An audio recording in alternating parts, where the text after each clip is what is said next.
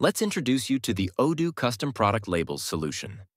This module adds new product labels and allows printing labels via an alternative print wizard, providing additional label settings in the convenient way.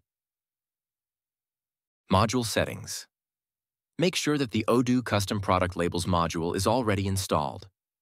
To print labels, open a product or select products in the list. Then, in the Print menu, choose the Print Custom Labels. Please note, if you want to use the Print Labels button for printing through this module, you need to replace the standard Odoo Print Wizard in the following way.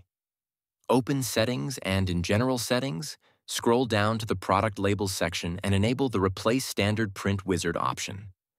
After that, click the Save button.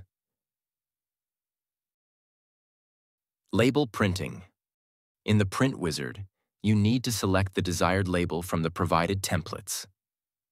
Now let's review the printing settings available in the wizard. To set the number of labels for all products, enter the quantity and click on the Set Quantity button. The specified number is now set for each product label on the Labels tab. You can also manually change the number of labels for some specific product. To restore the initial number of labels, click this button.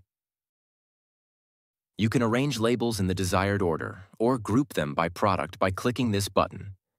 And you can exclude labels you would rather not print as well, or completely remove them from the list. In the label list, you can also control the visibility of fields. The Options tab contains additional settings to meet your requirements, such as specifying a company if you use the multi-company environment, setting a language to translate text values on labels, activating the human-readable barcode option to print digital code below of the barcode, adding a border for your labels. To take a look at the label setting result before printing, click Preview. Finally, print labels by clicking on the Print button.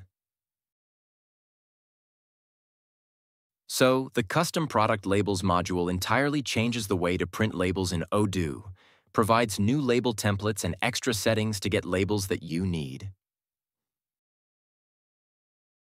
Extra Label Modules Take a look at Odoo Product Label Builder solution to create your own labels through the Odoo UI. Extend your possibilities to print labels with the additional modules for various Odoo areas. Inventory, MRP, Purchase, Sales, and others. Watch the related videos to find out more.